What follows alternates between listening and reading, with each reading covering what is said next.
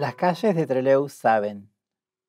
Las calles enripiadas o con pedregullo, o simples sendas, o caminos que se arman en los barrios, saben de nuestras pisadas. Saben de las torceduras por pisar mal sobre alguna piedra con taco aguja, o los más anchos, pero siempre tacos.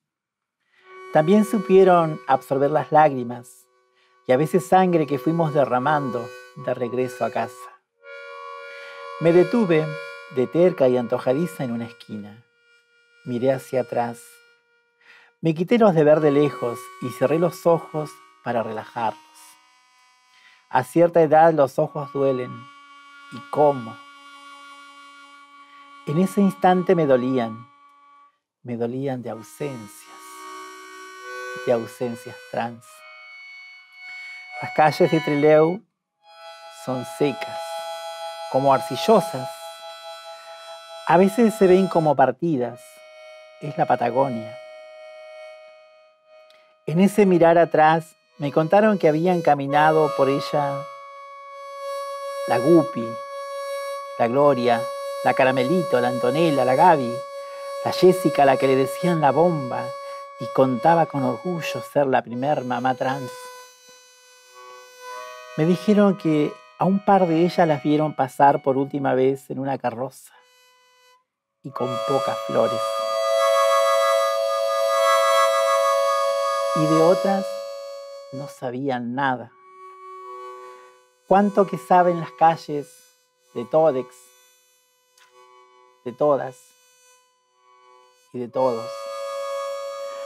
Me dijeron también los nombres de todas las personas que las habían hostigado, discriminado, insultado, invisibilizado, patologizado, despreciado, vulnerado, demonizado, exiliado, expulsado, que las habían puesto en la otredad por ser, por ser trans.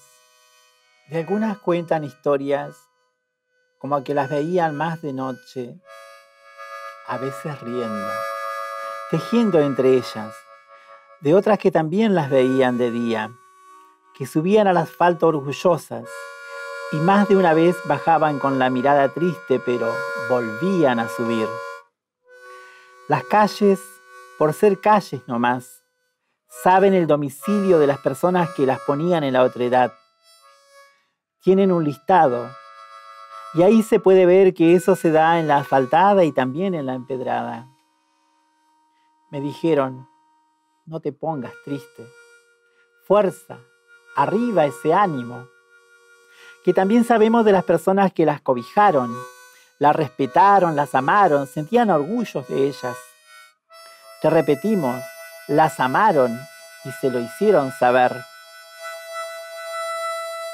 De este listado, como eran menos, me dieron una copia, con muchas hojas en blanco y con resaltados renglones por si no está tu nombre, el tuyo, el de ella, el de él, o el de alguno de tu familia, de tu barrio, de tu escuela, de tu trabajo. Me dijeron, sabemos que las van muriendo entre los 35 y 40 años, años más, años menos. Sentí escalofrío en el cuerpo.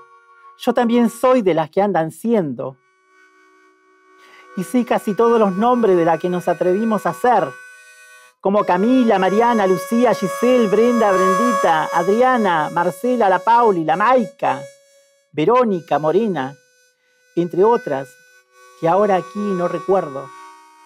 Las calles me dijeron, no te preocupes, las conocemos.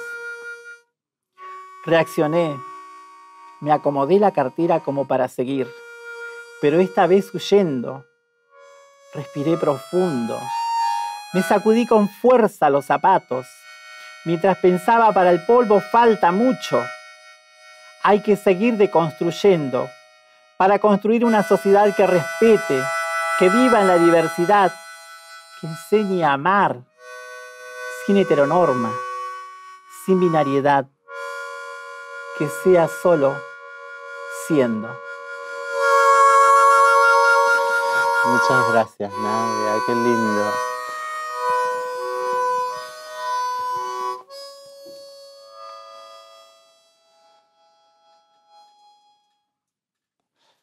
Con la armónica de Malena. Muchas gracias. Estamos eh, otra vez en ruinas. Sobre las ruinas nos juntamos.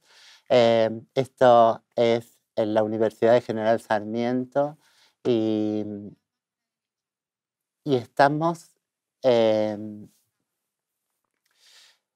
estamos para, para ver de qué las ruinas encontramos, encontramos material para, para ir a por la esperanza.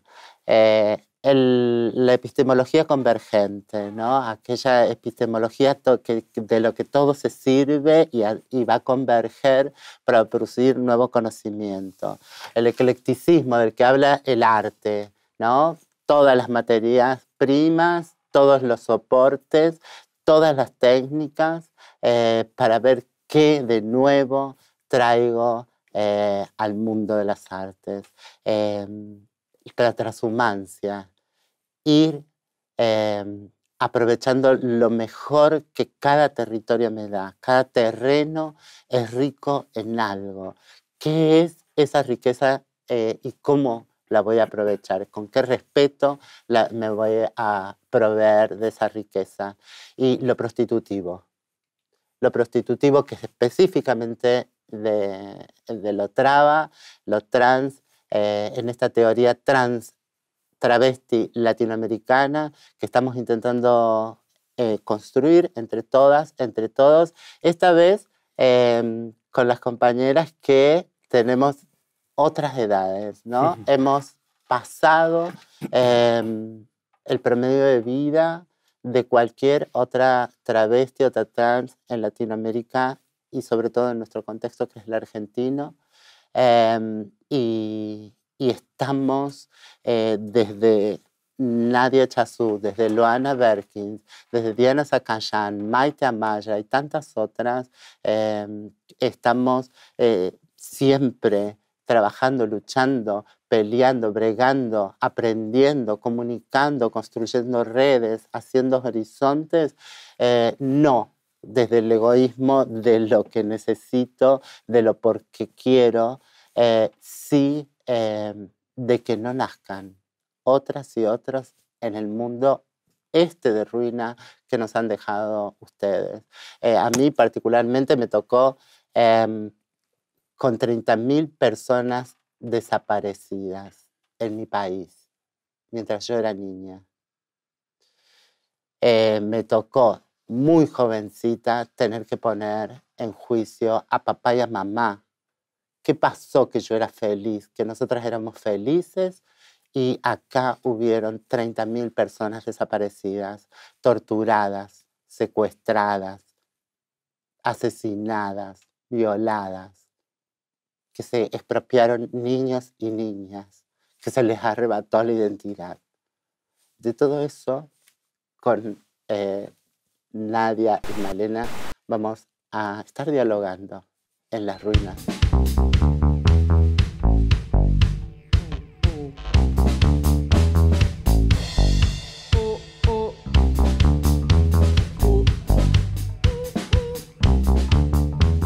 Vamos a seguir dialogando. Qué hermoso lo que nos regalaron eh, Male, Nadia, eh, que son eh, dos territorios diferentes además.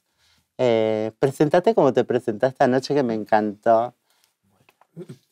Mi nombre es Nadia Jazmín del Rosario Zúñiga Sánchez, ley 26.743.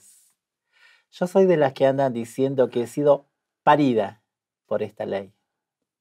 Así es como me presento en cada, en cada espacio donde, bueno, donde se me, me convida, voy a decir, a charlar, a, la conversa, o en los espacios donde también he conquistado o hemos conquistado como colectivo trans.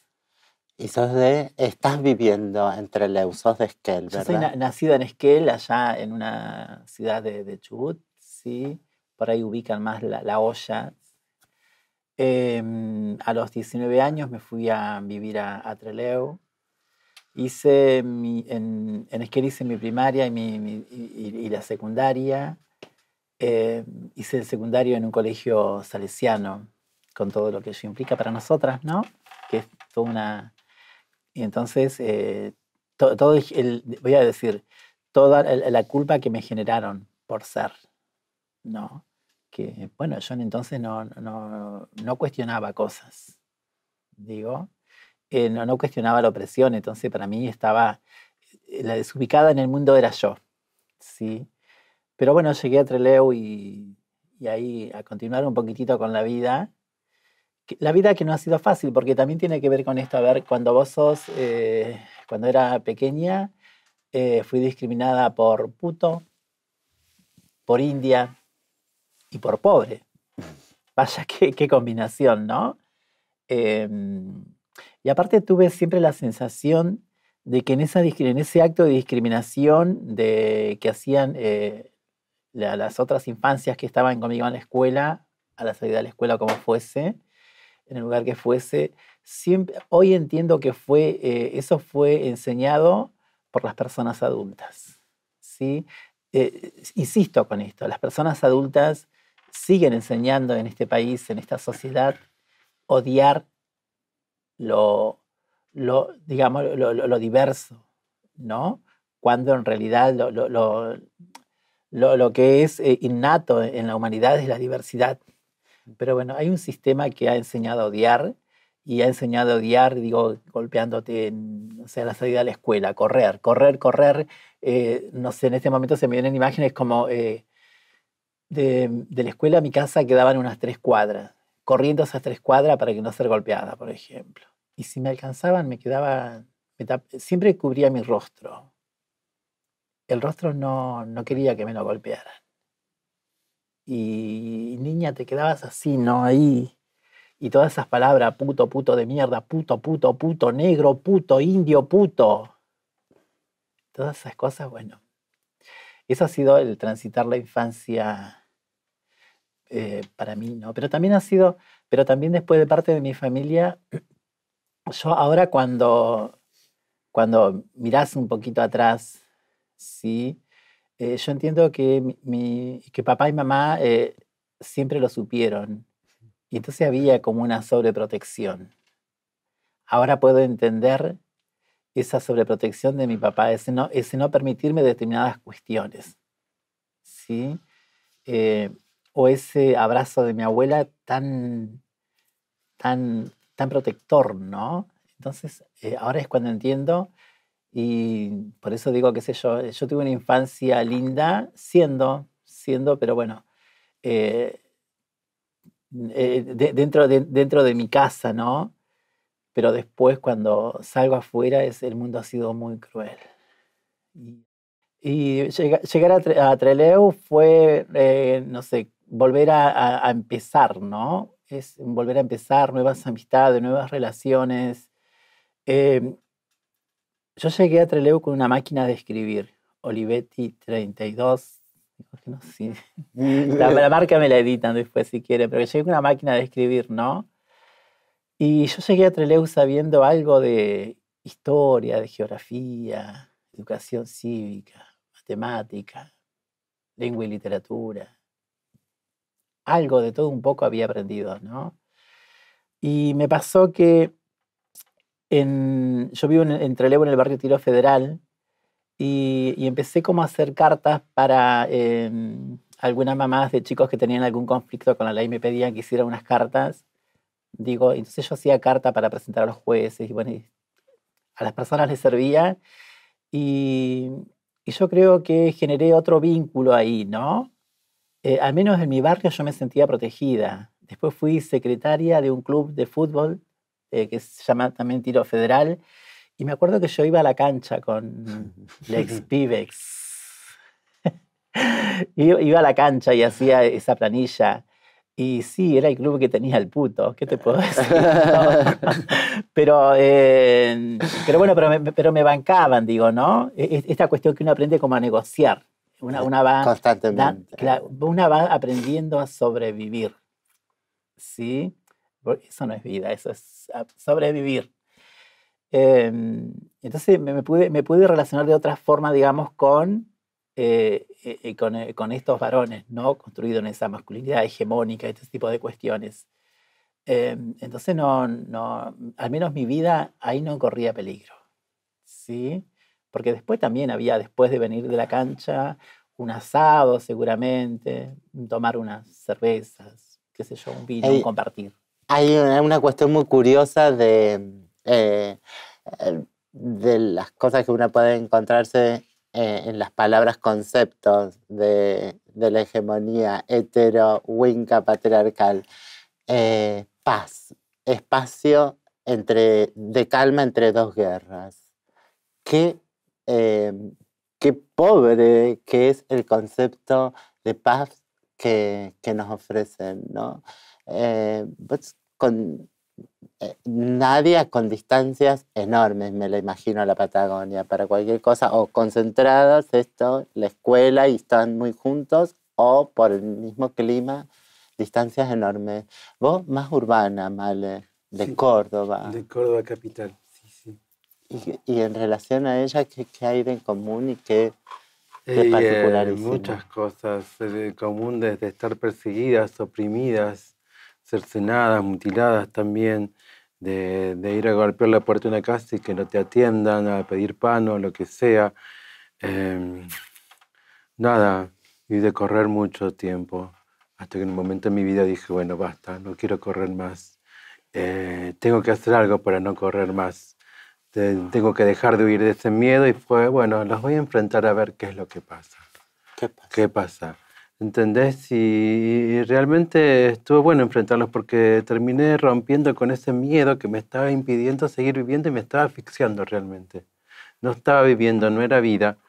Y, poderme enfrentar a esos miedos y a esos enemigos que nos oprimen y que por ahí, como decís vos, en determinados momentos hay guerra, paz, guerra, bueno, yo disfrutaba esos momentitos de paz, pero cada vez eran menos. Salir a la calle, bueno, también tenemos más o menos la misma edad. Crecimos con los milicos, eh, con los 30.000 desaparecidos. Eh, eh, con toda esa presión, ese miedo de la palabra travesti no se nombraba.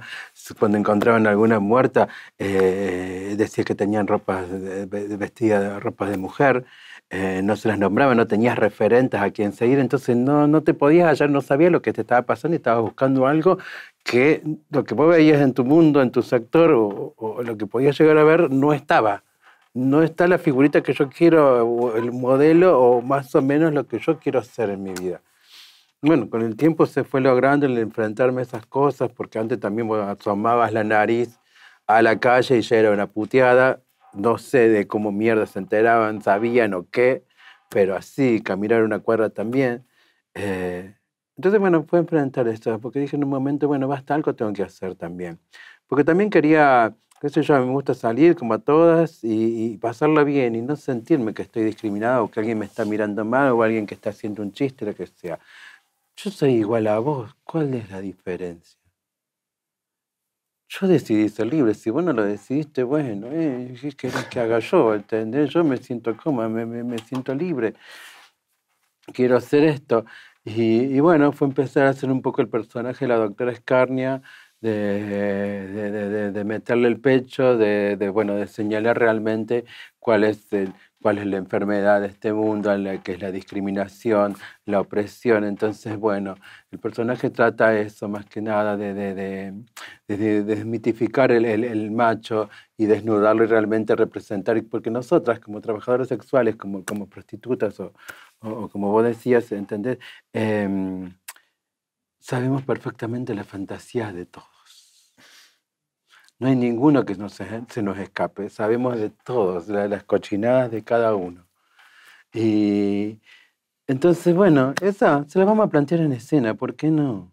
Y también a los tipos, ¿entendés? Cuando los corría, bueno, hoy nos sucedió algo cuando venimos por acá que le dicen, uy, mira, ahí al fondo hay un, travesti, dice. Y estaba vendiendo en un vendedor ambulante. Y cuando pasé le digo, no le compren el pito corto. Mudo se quedó. Pasó derecho hasta el otro vagón y recién el otro vagón siguió vendiendo. ¿Tiene algo de sádica eh, la doctora mucho, Carnia? Tiene mucho. Me encanta jugar con una fusta en el medio de, mi espectáculo cuando hacía el show usado y que se hagan la cola de los chabones bajándose los pantalones para pegar el culo para que yo les pegue con la fusta. Les encanta. Qué mejor que eso, ¿entendés? Eso es una satisfacción decir que la gente, después cuando yo bajo la escena, me dice, che, que hiciste decir tal cosa, viste esto, sí. Y yo lo hice para sentirme bien, ¿entendés? Para poder irme a una fiesta, porque a mí los lugares, los boliches y los cuartos rosas no van conmigo, nunca me gustaron. Si bien lo hice en mi adolescencia, pero ya después hubo un momento que dije, esto no es para mí, no es por donde quiero ir, no es la gente real que la, con la que me quiero encontrar en el día a día. Y, y bueno, y así empecé a ir a otra fiesta y qué sé yo, pero me sentía discriminada, me sentía ninguneada o que no se me acercaban y qué sé yo. Bueno, entonces empecé con mi acordeón a, a, contar un poco qué era lo que mi vida y lo que yo vivía, lo que sentía. Y, y, y una, de, eh, a mí me encantaba... Eh, en cierta parte, una de tus, de tus estrategias de subsistencia era el baúl de Maluca. ¿Qué era el baúl de Maluca? El baúl de Maluca lo sigue siendo, eh, está por ahí cada tanto se vuelve y está ahí como olvidado, pero vuelve y qué sé yo.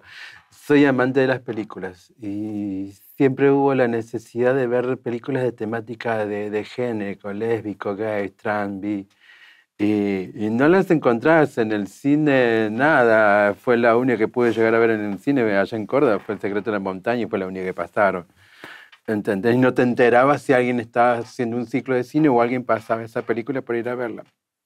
Y bueno, con el auge del Internet fue empezar a buscar, me encanta buscar eh, eh, mucha información al respecto y bueno, y ahí fui encontrando y de a poco fui armando un baúl de la maluca que ahora ya lleva como casi 2.000 títulos más o menos que tengo en la biblioteca, eh, donde cada tanto hago ciclos de cine y, hago ciclos de cine, cine debate también.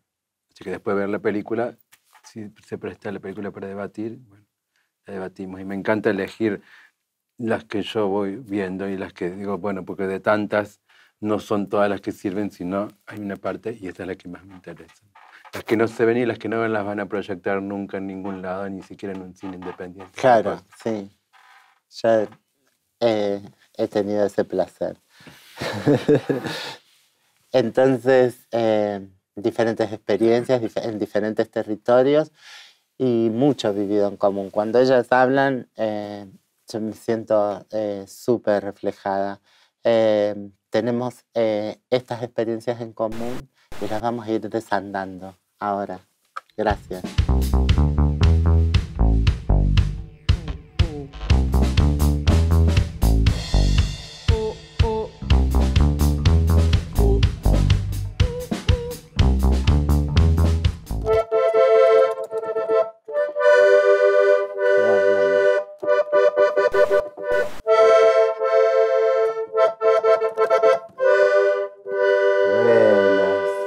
Presento.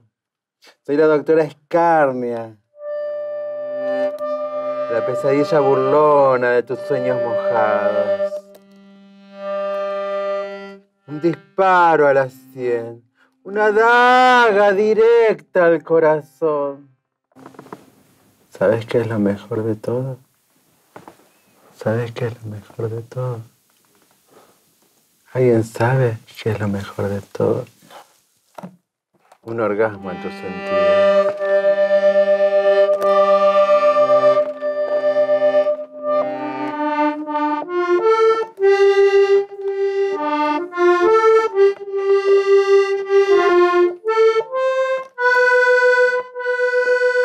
Derroche de magia. El show de la esquinita comienza con las miradas, el dedito en la boca, falta de un chupetín la pasarela yendo y viniendo de una punta a la otra de la misma esquina.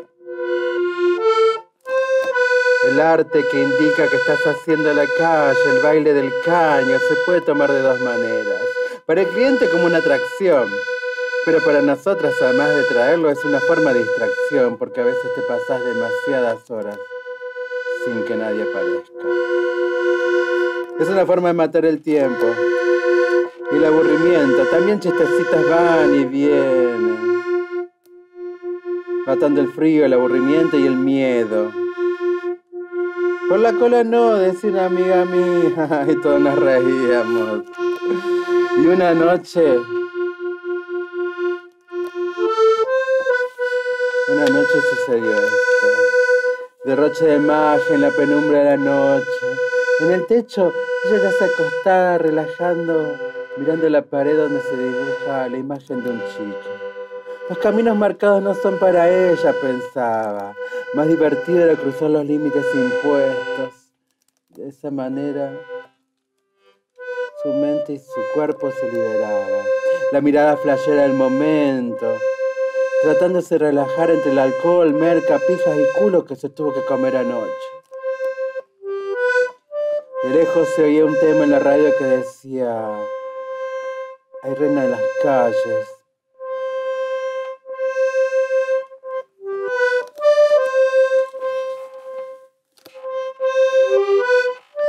Viniste del sur buscando los cielos de un mundo mejor, huirlo de lo malo para encontrarte lo peor. Promesas borradas que al cambio oficial son sueños por pesadillas. Las dos de la mañana bajo una manta roja, zapatitos de tacón y doce puñaladas. Los clientes, ¿qué sucedió esa noche? ¿Qué clientes te puedes imaginar que puede tener una trabajadora sexual? Primero, un cambio de rol. Ay, el señor se quería poner mi bombachita, pero tratándome de macho, pero qué tupe el suyo. Fachito que no, le no se asume que le gusta que le den por el culito.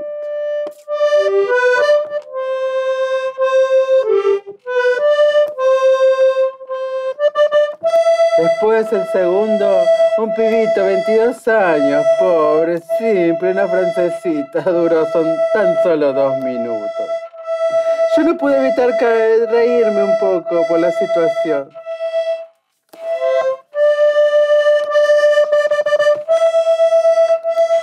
Después, cuando pensaba que ya nada iba a pasar, que ningún cliente iba a venir, apareció uno de esos clientes jamás que soñé siempre. La trató como la mejor princesa. La abrazó, la besó, la acarició y la puso en su regazo para dormir. El sexo fue maravilloso, pero más que todo fue una excusa. Se disfrutó, hubo orgasmo. Entonces, ella en el techo comenzó a relajarse y empezó a masturbarse. Pero antes de acabar, una molestia le sucedió entre las piernas. Las abrió, descubrió su concha atrás y de ella salió una manito que decía, mírame, acá estoy, ¿me ayudas a crecer?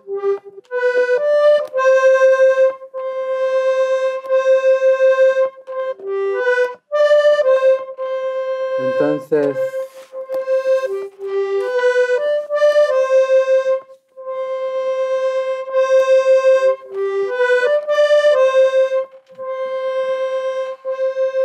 noche de luna llena al lado del río, sus ojos brillaron del amante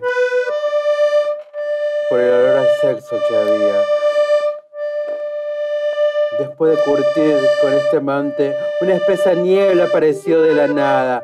Solo se divisaba la imagen de una niña de tan solo 15 años empezando a nacer en el horizonte. Ella le extendió la mano, la abrazó, la puso en su regazo y ambas se durmieron.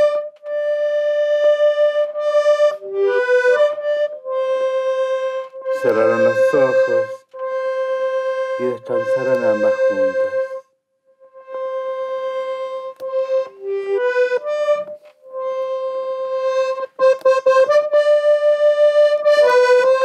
La noche salió demasiado bien, pero hay veces que salís a la noche y no sabes si vas a volver.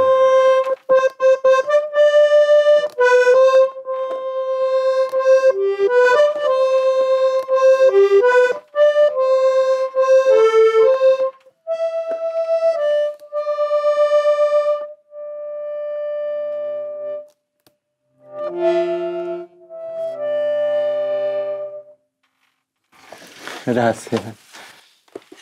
Para, para intentar volver vamos creando estrategias eh, de redes, de abrazos. La, la, tuya fue con la anarquía, con los movimientos anarcos. ¿Con quién más? ¿Qué, qué? Yo siempre fui independiente paramilitar, o sea, hoy hablábamos con, con nadie al respecto, o sea, las reuniones sí me gustan, sirven para construirnos intelectualmente, eh, pero activo mejor más haciendo que, que, pensando en hacer. Entonces hay que hacer algo, ya está, listo. Lo de los ciclos de cine empezó así, necesito hacer algo. La de la doctora también empezó, necesito hacer algo con este mundo que no me gusta y si no me voy a terminar suicidando. Y suicidando no, no me iba a suicidar, no le iba a regalar el mundo a los que me estaban oprimiendo. Yo le tenía que dar batalla mínimamente, antes por lo menos de irme de este mundo si no, no me iba. Y así empezó, y bueno, eh, se fue construyendo y, nada, allá en Córdoba soy muy conocido en el ambiente under, en el ambiente punk y under. Eh, soy muy referenciada y respetada, así que me decía, ah, llegó la madre, llegó la doctora. Así. Y, eso fue con lucha, ¿entendés? Y gracias a mí, bueno, como que no sé si gracias a mí, pero por lo menos de, sembré una semilla para que eh, seamos más respetadas o, por lo menos nos incluyan más en sus cosas y no seamos objeto de burla y si no, bueno, ay, a ver qué le pasa, qué, quién es, como eso. Intentando construir otra, otra cosa y que tengan otra, otra mentalidad. La gente, es difícil, pero bueno. Eh, se va logrando.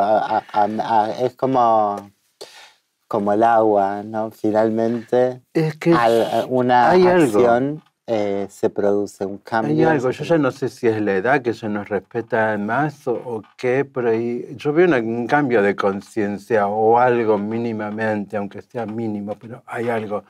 Y hay una diferencia abismal lo que fueron los años 90, principios de los 90, con lo que es ahora, en 2018. Y en tu caso, ¿no?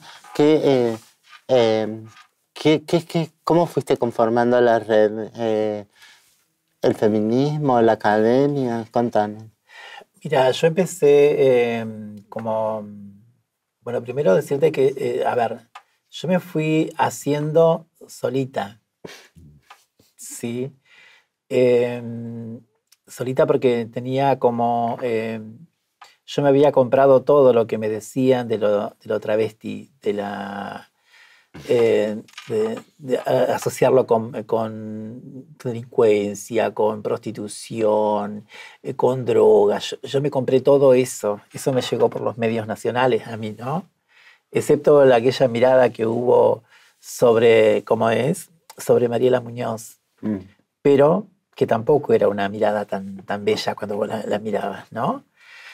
Pero, y entonces me fui haciendo solita, me fui hasta que allá por el 2013 eh, nos reunimos con unas compañeras y eh, bueno, se decidió que fuese yo la referente de ATA. ¿sí? Así fue hasta el, 2000, hasta el 2015. Em, nada, fue encontrarnos ahí con, con las compañeras, eh, empezar a, charlar, a hablar de nosotras y, y entender que em, toda la violencia que yo creí que uno había vivido también la había vivido.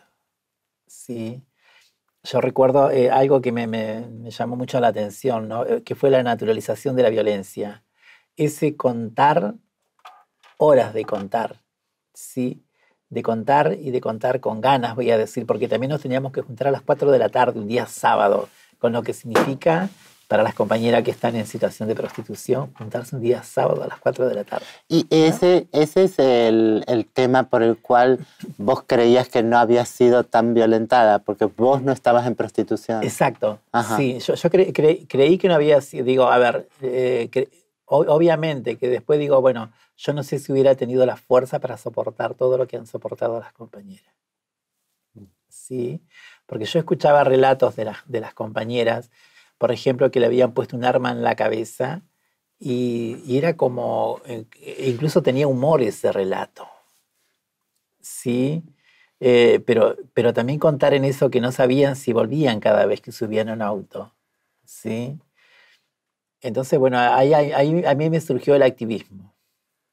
Digo, me, me, surgió el activismo y estas ganas de hacer algo porque no, no, no podíamos quedarnos así como, como no, no, no, podían ser simples relatos que se dijesen un sábado a las 4 de la tarde y no, y no, no, generar otra, otra oportunidades para nosotras mismas. Recuerdo que en una oportunidad nos juntamos eh, con una mujer activista ya también en, en, en Chubut, Joana Peralta, y nos preguntó eh, cuál es el sueño, cuál era el sueño nuestro. ¿Sabes que no pudimos responder? Mm. Digo, responder así, ahí, lo tuvimos que pensar. Desenterrar. Buscar. ¿Entendés?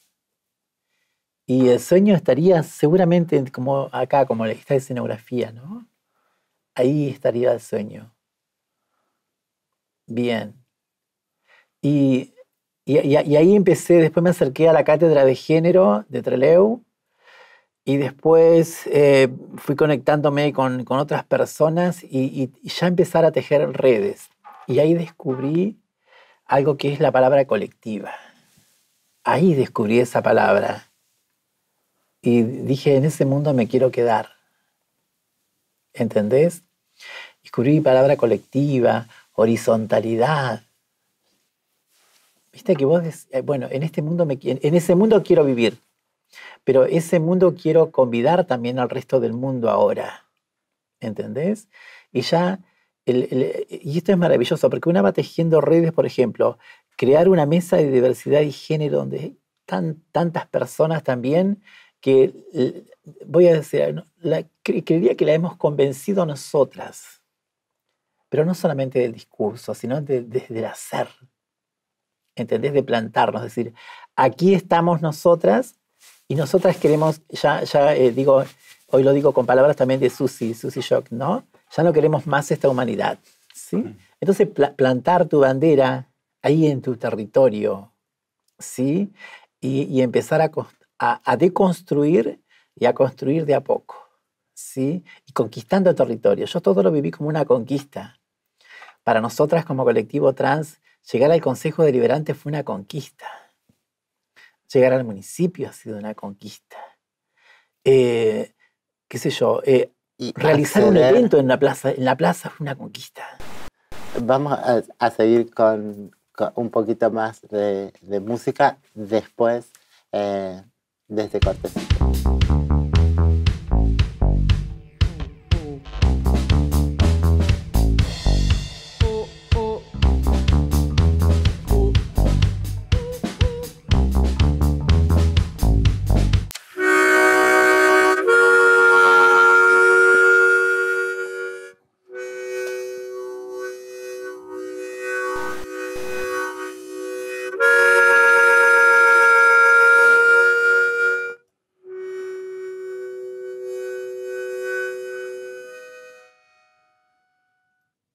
en sangre la luna como en el fango.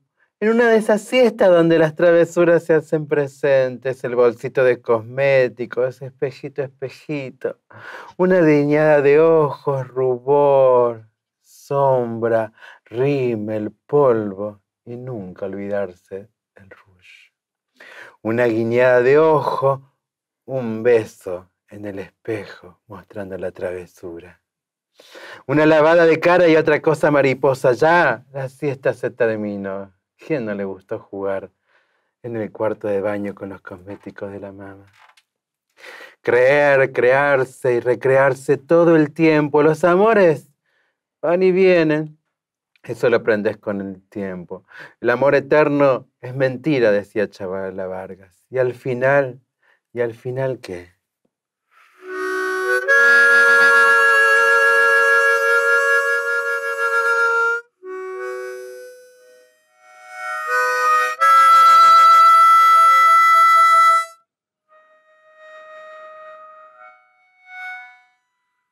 Una quiere abrirse el pecho, sacarse el corazón y desgarrarlo con las manos para que deje de lo doler.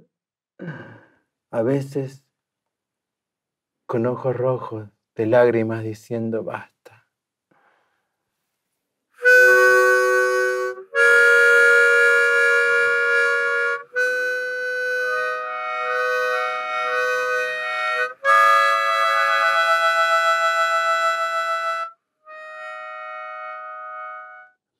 Ojos cerrados al alma, la esencia que busco, un horizonte que no puedo divisar. Solo sigo, camino en este mundo vacío, buscando una razón o quién sabe.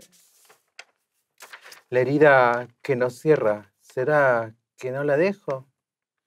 La leña convirtiéndose en ceniza, dejando ver cavernas ardientes, formando caminos. Ojo, no hay uno solo, hay muchos. Abrilos, dale, abrilos, sumérgete en este inmenso mundo. Es inmenso como para repetirse. Las cadenas que cargas es hora que las sueltes, te impiden caminar. Hay que deshacerse de ellas. Y como un tren ingresa por tus poros el porno, el sexo. Vas a sentir vibrar los carriles de su éxtasis, liberando así lo más oculto de tus fantasías que hoy no se van a dejar de reprimir. Y vas a volar en una nube de pasión, llegando así a gozar, brillar y soñar.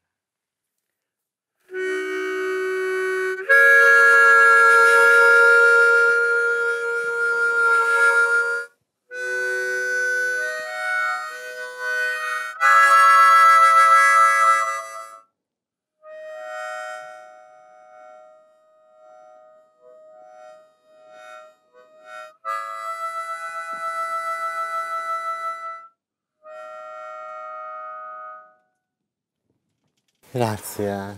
¿Cómo fue tu experiencia en la, en la universidad? Eh, fui a ingresar primero a un lugar nuevo, otro, otro, digo, no sé, algo no, viste cuando el lugar no es tuyo y te lo hacen saber. Claro. Exacto, Mm. así. Claro. Eh, Yo diciendo, me llamo Nadia y con un DNI que no, no, no sostenía lo que yo decía, ¿no? Pero aparte teni- teniendo que dar explicación a cada profesor cuando, tomaba cuando tomaban asistencia, cuando pasaban esa lista, odié las listas. Esa lista es horrible, es horrible, yo las odié, ¿no? Ir a explicar al profesor y después te dice, sí, pero ni siquiera te miran, porque no te miran, ¿entendés? No te están mirando, no te Mm. miran, te hacen como que escuchan. Y después otra vez. Mi transitar en, esos años fue, fui la luna muda. Yo no preguntaba. No, no tenía esta capacidad de hoy que tengo de levantar la mano y si no me escucha, eh, eh, intervenir, si tengo que intervenir, ¿no? Que levantar la mano para pedir la palabra, pero si no te están, no te están viendo, bueno, este, este, este empoderamiento que tenemos hoy, ¿no? Fui la luna muda, fui la luna que transpiraba, transpiraba cada vez que tenía que hacer una pregunta. Tenía, a ver, esto de construirnos dentro del binarismo y esto de que tenemos que ser lo más parecido a una mujer, parecidas a una mujer cis y, y estas cuestiones que nosotras mismas nos hemos impuesto también por ahí, o la misma sociedad y nosotras la- seguimos reproduciendo, ¿no? Mi- mi voz era un conflicto para mí permanente. Hablar en público era terrible. Bueno, así avancé en algunas materias, en otras no. Me encantaba, digo. Pero después también entendí que, bueno, primero que en ese momento ese lugar no era para mí. No, o sea, sí tenía el derecho, pero no, yo no estaba, no, no, no, no, quería, digo, eh, eh, a ver, yo desistí, dije, desistí, dije, no, basta, basta. Yo recuerdo una vez en la biblioteca me dijeron Señor delante de tanta gente. Fue tan despiadada esa persona conmigo. ¿Viste? Pero así, fuerte, Señor. Eso me dolió muchísimo. Ese día dije, no, yo no quiero, no, no quiero seguir transpirando en ningún lugar, ¿no? Este, y, y no, y no era que yo era tímida, yo no era tímida. ¿Sí? Porque no, no, no, es- no era timidez. Era un mecanismo de defensa, el estar callada, el, el quedarte ahí, no digo nada, ¿entendés? Bueno, ese fue un transitar por la universidad, ¿no? Te fue expulsando. e- Te, te va expulsando, el mismo sistema te va expulsando, ¿no? Recuerdo también un profesor que tomando lista y yo levanto la mano de allá al fondo, porque también te vas quedando al fondo, ¿sí? Sos de las alumnas que están allá al fondo. ¿Entendés? Que pareciera ser que son las personas que no le interesa la clase. A mí me, a mí me interesaba, ¿entendés? Y me, me llama por aquel nombre y yo levanto la mano y me dice, no, usted no es así, abogado y juez. Mm. Entonces, y querer explicar de ahí atrás y no poder explicar. Pero aparte, eh, ver que todos empiezan a cuchuchear, a decirse cosas, ¿no?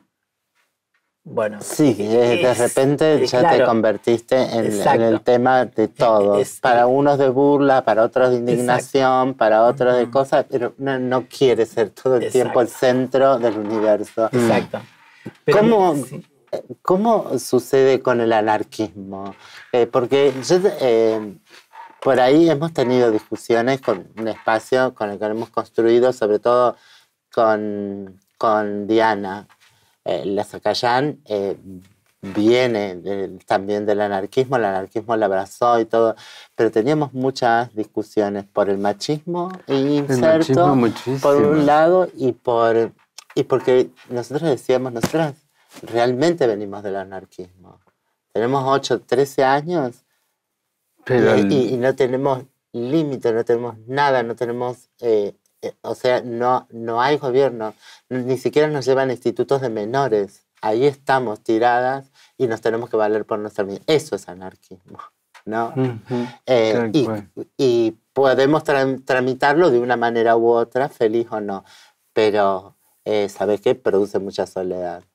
Pues, ¿qué- ¿Cómo lo interpelaste? ¿Cómo- También, bueno, a mí me costó muchísimo cuando empecé a conocer los anarquistas eh, y, y que me abracé el anarquismo. Y muchos en esos contactos de relaciones sentía como que había un cierto rechazo, una cierta cosa que hasta ahí nomás llegaba, o el, eh, el típico, si curtías con alguien una noche al otro día, eh, no nos miremos mejor, no pasó nada, no, no vayas a decir nada. Eh, hasta, digo, ¿qué tenían de anarquista? Con muchos anarquistas con los que estuve, con muchos cumpas punkis que estuve, yo soy una persona que no, que cuando decidí enfrentarme al mundo y enfrentarme a mis miedos, dije, no me voy a quedar callada. Y, y todo lo voy a discutir. Eh, y bueno, les planteaba esto, o sea, eh, bueno, vamos a tener sexo. Para mí es una intimidad propia. O sea, la cuido, eh, es muy sagrada para mí. Entonces yo la voy a compartir con vos porque lo decido, porque hay algo que me gusta, porque hay piel, hay algo que me fantasea de vos o lo que sea. Pero bueno, más allá de todo eso que vamos a tener, bueno, yo necesito darte una charla, una discusión previa, porque no soy un trapo de piso, no soy algo que una almohada que te estás haciendo una paja y, y le haces en un hueco y terminas ahí. No, no soy eso, soy otra cosa. Necesito que tengas otra discusión, que si estás dentro del anarquismo, y la tenés que tener, porque si no estás reproduciendo lo mismo, entonces ¿para qué estás acá? Yo no te quiero acá, los enemigos no los quiero alrededor mío, o sea, los quiero bien lejos. Y si son un enemigo, te voy a patear y te lo voy a decir en la cara y te vas. Como siempre. Porque, yo no- para- porque vos sí tam- hiciste la, ejerciste la prostitución, ¿verdad? También, Entonces ya sí. estaba, eso est- estaba propuesto ahí, ¿no? No lo, no lo ejercí como una obligación, sino por determinadas cosas que yo necesitaba. Porque yo digo trabajo sexual también. Es porque nosotros decimos, nos vamos a laburar. Sí. Y ese laburar, ese empoderamiento, esa palabra laburar entre nosotras, las trans, significa que vamos a comer, que nos vamos a comprar la ropa que queremos, que vamos a poder acceder al maquillaje que queremos, a la peluca o al, o al pelo o la tintura. Somos nuestra propia autogestión en ese sentido. Eh, y, y es lo que te brinda. Eh, eh, esa seguridad, esa de, de- de decir, bueno, me, me voy a laburar. Todas las cosas que pasan también por detrás, ¿no? Pero en el movimiento del anarquismo me pasaba esto. Digo, yo no, si me vas a hacer sentir una puta, bueno, poné los billetes.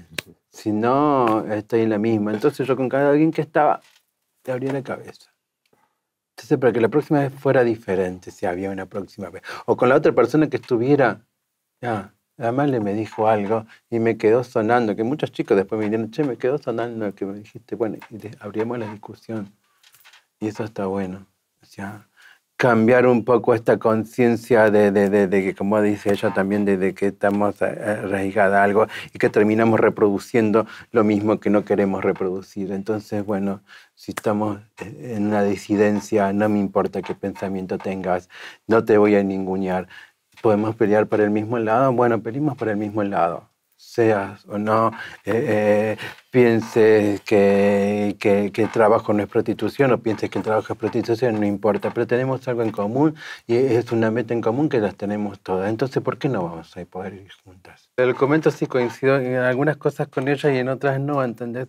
El documento nos dio la, la seguridad de que por lo menos el género no nos van a respetar, o el nombre va a aparecer en el documento y les va a.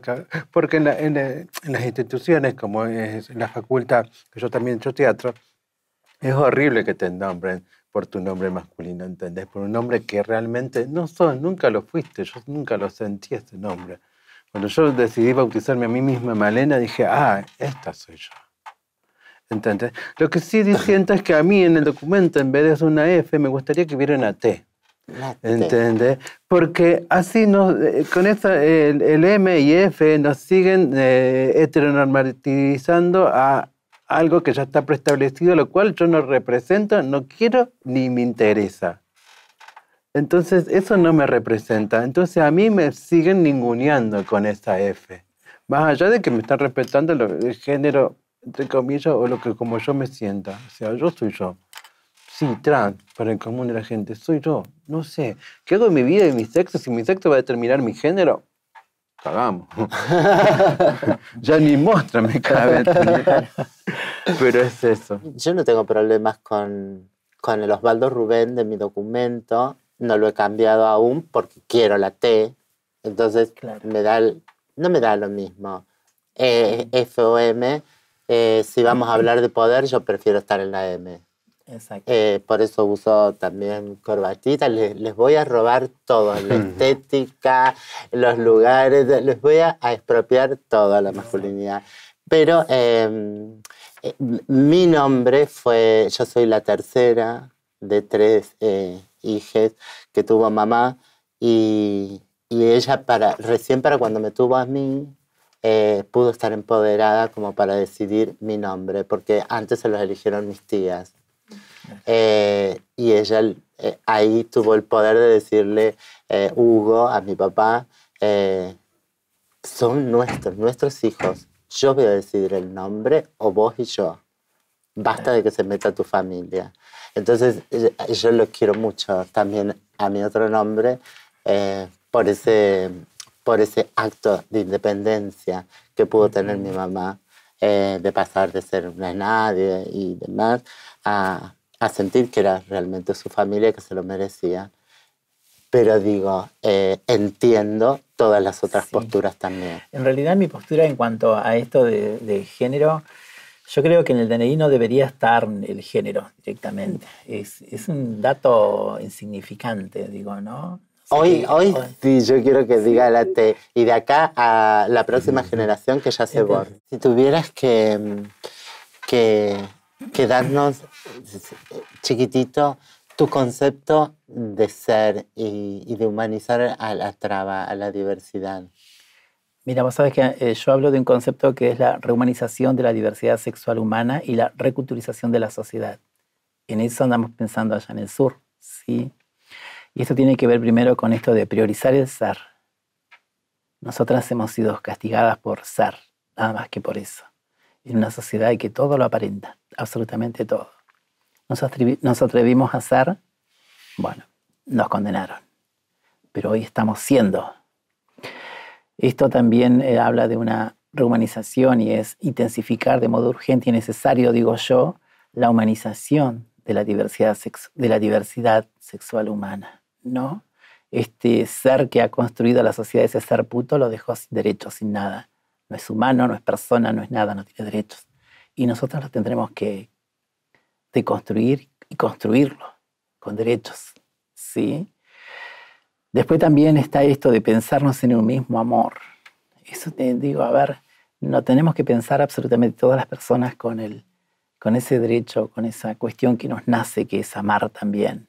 Y que el amor siempre es amor, no, no hay un amor que sea, a ver, no hay un amor que, esté sobre otro, ni lo hetero, ni lo lésbico, ni lo trans, nada. El amor es amor. Y hablo del amor de pareja, ¿sí? Esto, y, pero aparte también habrá que entender que lo innato, que lo innato como humanidad es ser diversos. Eso es lo innato. Eso es lo rico de la humanidad. Eso es un poquitito esta rehumanización y esta reculturización, ¿no? Que tiene que ver con el de construir todo, absolutamente todo, pero para construirlo desde nuestro pensamiento. No sé si será casualidad, causalidad o qué, pero las trans andamos proponiendo estas cuestiones para la humanidad, ¿sí? Sí, yo creo que es eso, y que, y que vamos a, a, terminar eh, dándole forma a un corpus teórico que, que realmente eh, hable de pluralidad, de diversidad, de amorosidad, de abrazar, de roles paternos y maternos, en como deben ser, eh, con, roles sociales, con horizontalidad, con, una pedagogía cotidiana eh, que deje muda, por ejemplo, a, todos esos varones y sexuales científicos que hablan de nosotras, de nosotros en National Geographic. por ejemplo. Muchísimas gracias por estar presente. Eh, eh, ha sido un placer. Hoy me he sentido como en casa. Yo también. A pesar de que son unas ruinas. Para mí, ¿viste cuando, eh, a ver, ¿viste cuando se cumple un sueño? Una meta Eso es Da una satisfacción muy grande las metas cumplidas. Gracias.